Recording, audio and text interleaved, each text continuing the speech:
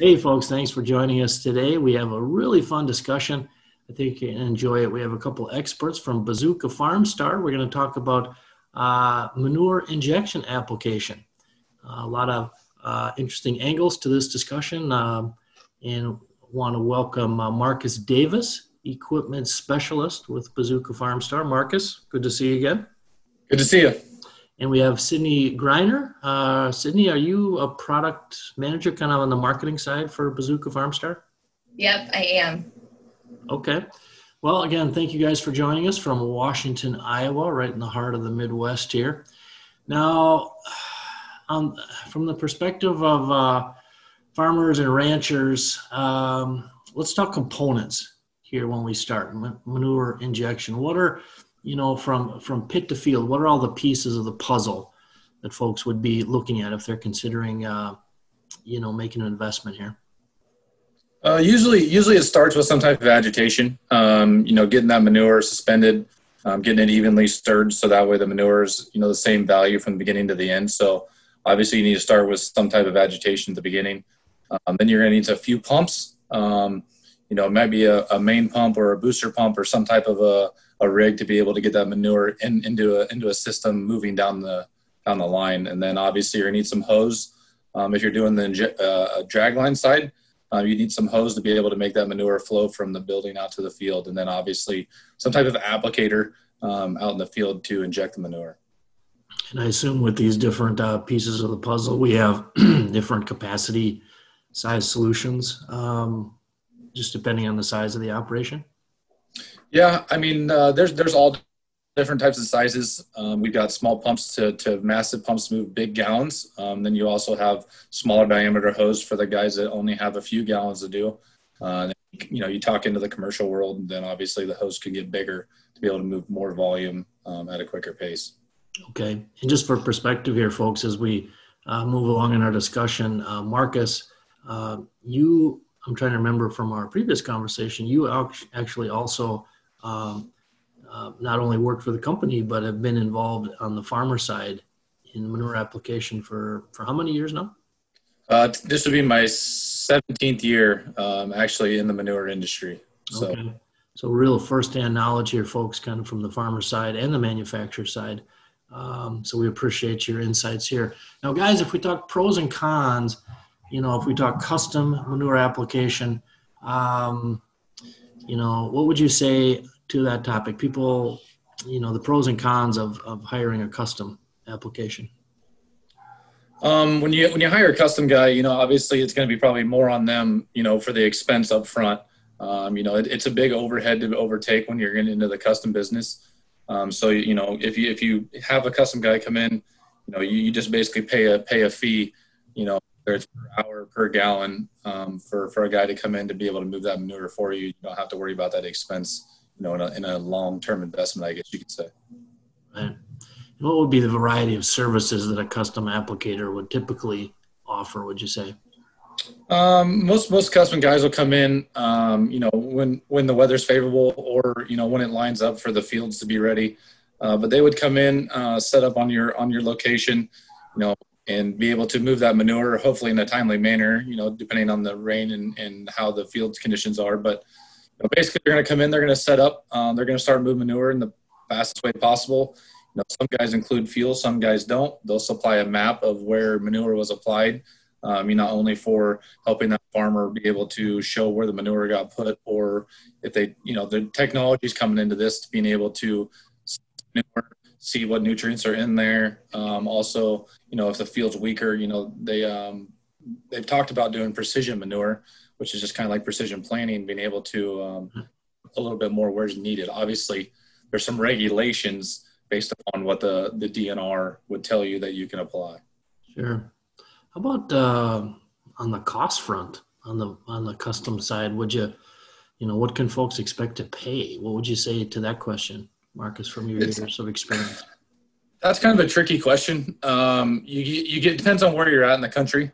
Um, it, it's kind of a you know, you get into some dairy pockets or you get into more hog, I guess you could say. Um, just kind of depends. Some guys, some guys uh, charge hourly. Some guys charge by the gallon. Um, so one of those things that I would tell you a lot of manure guys probably don't talk about um, just because in, in, the commercial side of it, it can get really competitive. But um, most most uh, dragline guys out there are, you know, they, they kind of stay the same with everybody else. There's not really anybody that's out there to undercut the next guy. Everybody can stay busy. Trust me, there's plenty okay. out. Right. And how about uh, is there a typical way that that uh, estimated costs are calculated? Uh, you know, or, or do just different custom applicators do that differently, Marcus? Uh, everybody kind of does it differently uh, based upon, you know, um, you know, obviously the girls do a great job in the marketing side being able to come up with like an ROI calculator um, to be able to show not only commercial guys, but as a guy that wanted to start his own system to pump his own manure, um, they can show the return on investment to help out, you know, with the whole company, just so that way when you do get into something like this, there's some obvious numbers to say, hey, this is what it's going to take, and this is how many gallons it's going to take to be able to pay for something like this. Okay. Well, what Marcus said, I think we are going to um, offer that in our trade show booth. Um, so if they go there, they'll be able to download that calculator actually. And then um, Marcus and I actually just went through earlier this week and we've laid out good, better, best systems um, for people that are looking into it. Um, so they can kind of understand the different variables that go into it, how many gallons they actually have to pump, and um, what type of equipment makes sense for them if it does make sense for them. Okay, that's awesome, Sydney. That you actually did you say on a calculator basis you're you're providing that, or did I hear that right? Yep, yep. There will be a downloadable spreadsheet that they can just input their numbers and then flip to another screen, and it'll show them their ROI potential. Okay, I yep. love that. That's fantastic. So let's just flip the uh, question here, guys. Get in curious to get both your takes on it. Again, so let's talk pros and cons, but from the in-house. So you want to, you know, make the investment in doing this yourself on the farm. Uh, pros and cons to to that uh, to that approach. Um, I tell you, you know, obviously I, I, deal with these on a regular basis. Um, most of the ones that you see that are going to get into the manure side that are going to bring it in house or you know they might have a family member or some kids or nephews or nieces that are looking back to get back on the family farm sure, sure. when you look at the expense that they have every year of pumping manure it makes more sense to bring it in house where they want to be a part of the farm and also you know when you look at look at the potential of you know having everything controlled by your own farm operation it makes more sense because you know that that family member let's say for a son or a daughter that wants to come back, they know how the farm's taken care of. They know how the the the fields need to be when they leave. You know, because and and again, I'm not giving the custom guy a bad a bad name by any means because I do it myself. But you know, sometimes when it's your own, you take care of it just a little bit different. So, um, you know, it's a huge it's a huge thing to bring it in house, not only financially, but you know, it makes more sense for for a big operation to be able to do it themselves. And add to that too, um, Mark, it'll basically get done when you need it done. Right. Um, because your job is the only job that you have to get done, unless you are expanding into your doing your neighbors eventually. But um, it's kind of a priority for somebody to do it themselves. I bet that has to be a huge, huge advantage, especially the weather conditions we've seen the last couple of years. Your windows to get done what you got to get done seem to be shrinking all the time. So uh, being able to control that must be huge, I would think that's a that's a huge advantage uh, of owning your own equipment when when it comes time for that. And I suppose customer feedback over the years, folks that have made that decision, is that towards the top of what they echo back when you when you follow up with them? There that that control of timing, they just appreciate that. Uh, for sure. I mean, it, it's it's huge. It's huge when you know obviously it gets colder faster in the winter time, and it seems like it rains every day in the fall. So you know, being able to get their corn off uh, or beans off and being able to put manure down the next day, that's a that's a huge advantage. Yeah, you you're uh, engineering your great folks there at Bazooka Farm Farmstar. If you guys could challenge or fix our control of rain in October, November, that would be excellent. Uh, uh, now, Bazooka Farmstar, I mean, you guys sell your manure application equipment all over North America. Uh, I'm just curious with in all the different regions and, and soil types you run into different uh, trends different. I mean, can you speak to those differences that you guys run across over the North American territory? Yeah, um, one of the, one of the biggest things about that is, you know, it's just like um, anything else in the industry. You know, in the farming industry, it just, you know, it's a trend thing. It goes from one side to the other. You know, you kind of get up in the Northeast, uh, not necessarily as much injection as what it is here in the Midwest. Um, you know, it's it's more of the understanding, the know, the know of how manure can be of value to you instead of a nuisance. Um, that's one of the biggest things I would tell you in the industry that I've been in for so many years is that you know how it's became from a nuisance to you know just spreading it on top. You know, unfortunately, you know you where it does run off, but now you know you get into this new era of injection, you know, with a no-till style, being able to put that manure down and be able to utilize it for your crop has been tremendous. You know, hmm. obviously it depends on where you're at. Like I said, um, you know, you get you get a lot of guys that uh, you know in the dairy industry that do a lot of, of hay crop where you know they've made some different tools to be able to put that manure down to be able to let that next crop of uh, hay grow up and and be more valuable to them to get more tonnage. So interesting. How, I think, oh, go ahead, go ahead, Sydney. Well, I was going to say, and I think with that, regulations in the Midwest are a lot more strict than they are out east. And so we've kind of been forced into this manure injection. And so with that, we've seen the value, um, to Marcus's point, of what manure can do for us. Whereas in the east, they're not forced to do it. So not a lot of people are doing it. It's a growing trend out there. But again, it's convincing them that manure injection is actually valuable to them and that the extra cost is actually a value as well it's just like an ROI calculator. When you talk about buying a system, it's shown on the ROI of what that manure can do for for a crop to be able to, you know, get that investment back. Very interesting. Are you guys seeing um, folks in the Northeast um, really leaning into what's happening here in the Midwest, and are they seem pretty receptive to the manure injection uh, transition or opportunity? I would tell you yes. Um, I would say it's probably a slower process than you know um, here in the Midwest than you would you know the farther east you go. Um, you know, it's just different type of toolage makes a difference too. Um, just because you're injecting it, you know, doesn't mean you know a ripper is the same as what a, a no-till style bar would work. But you know, that's that's a matter of opinion. Um, you know, and, and like I said, it's just it's a matter of um, you know once they do it once and, and see the results i think that's the biggest thing. It's just um, just like anything else trying to get grandpa to change the newest planters sometimes a little tough so. Tough to convince grandpa isn't it? But uh, grandpa grandpa knows roi doesn't he? Right. so, oh for sure for sure. Too. Absolutely. Yeah. now guys let's talk uh, when we talk specifics to uh, manure injection. What are the reasons uh, folks choose different type of toolbars? I mean, what what's goes into that? I mean, Sydney kind of pointed on it too. Is you know it just kind of depends on the region. Um, you know, you can get into different areas where it might be a rockier soil. So obviously, you want to go with something that doesn't um, go underneath the ground and rip a rock up or bring up you know bigger material. Um, you know you get into a lot of the no-till world where you know they don't want a lot of tillage so you need some type of a material uh, um, applicator that you know doesn't disturb a lot of ground but also you know it just it kind of depends on what the crops are that they're using and what their focus is for the next crop coming in.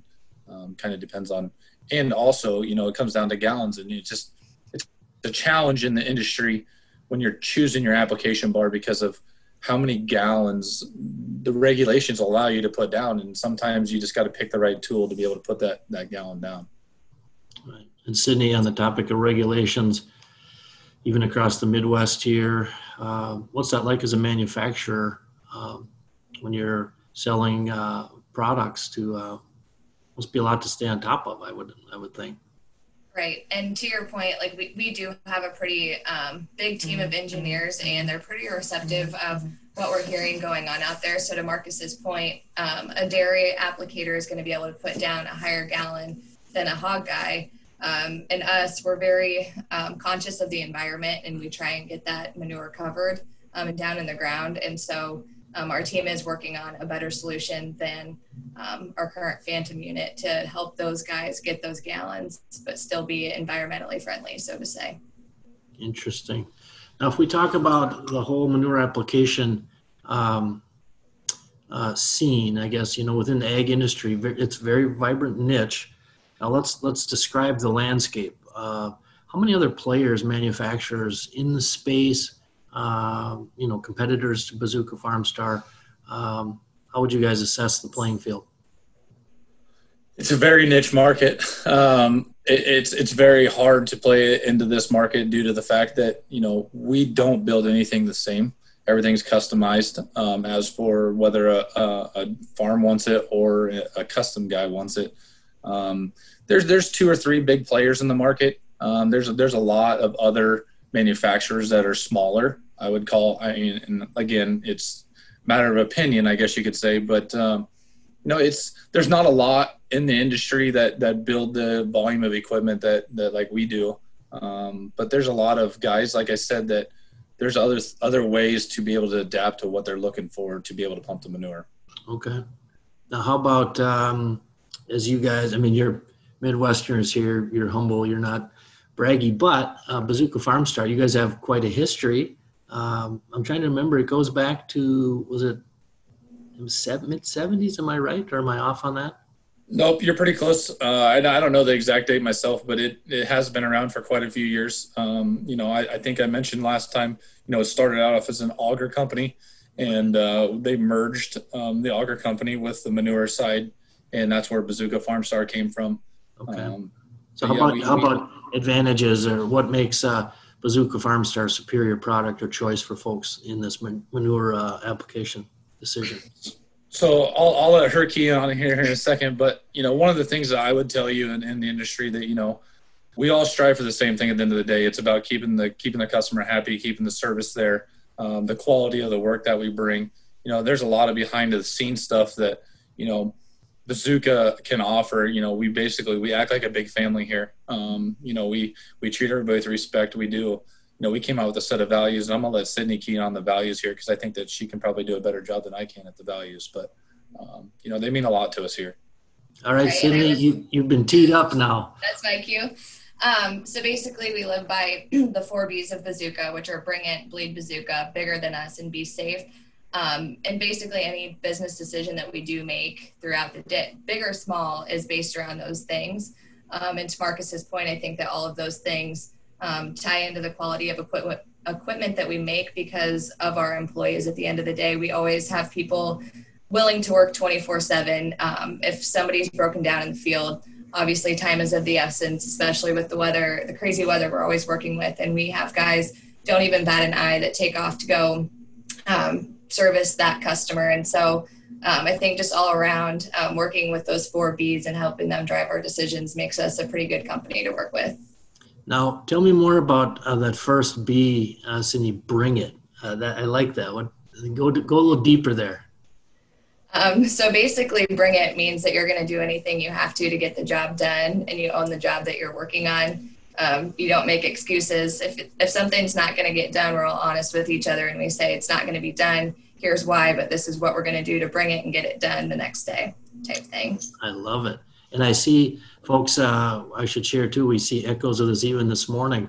Uh, we were planning on having the director of engineering, uh, Phil. Um, um, uh, what is Phil's last name, guys? Phil Menino. Menino. He was going to be joining us, but work came first. Uh, very uh, had to take care of the customer. And actually, Marcus, we talked last time about you even have the the build it yourself function right on your website, bazookafarmstar.com. So commitment to customer, making what's right for them that's that's a piece of the Bazooka Farmstar uh, winning recipe. For sure, for sure. That's one thing that we strive on here. You know, is customers first. Whatever the customer needs, that's what we'll build. It's not about it's not about what we want to design. It's about what they want, and we'll design it. I love it. Now, uh, I'll just throw this out as we wrap up here, guys. Uh, any words of wisdom, uh, your years of experience in the space here, people analyzing, trying to figure out, you know, um, if they want to um, maybe bring on manure application on their own on their own farm. Oh, any uh, parting words of wisdom you guys would have? I, I guess my my parting words are is you know there's there's no there's no wrong question in the industry. I guess if you have any doubt or if you have any question, you know, please feel free to reach out to us. Um, myself, there's a we have a heck of a team here. Um, you know, from from our front administrator all the way to the the the guy that uh, is janitor, I guess you could say. I mean, it's everybody will have your back here, Bazooka. You know, it's if if you need a question answered or if you have um, an understanding of what what it takes to get into the industry, you know, we're we're here. You know, it's not about um, like I said, it's not about how we want to build something. It's about what you want. We'll build what you want. It's not about uh, just building a line of equipment. And uh, so, Sydney, uh, how about you? Any any words of wisdom as, as we wrap up here? And I would just say to piggyback off of Marcus, um, I'm not going to sit here and say that we're the best choice for everybody. Um, but I think, again, that honesty and that extra communication that our entire team um, goes to, if we know that we're not a good fit for your area and we're not the, we're not the answer, we're not going to try and push something on you. We're going to give you the best advice we can so that at the end of the end of the day, your operation is the best it can be for you. Well, I love that, guys, uh, and very intrigued, folks. Go check out the the calculator Sydney was talking about at the Bazooka Farm Star uh, exhibit at the virtual show here. And just want to thank uh, Sydney Griner, product manager, and Marcus Davis, equipment specialist with Bazooka Farm Star, for joining us today. I've learned a lot. I've been watching uh, this big manure equipment sell at auction for 30 years. This was great. This will help me going forward. Um, but again, your guys' website, Bazooka Farm Star, is it's just bazookafarmstar.com, correct? Correct. All right. Thanks much, guys. Thank you. Thank you.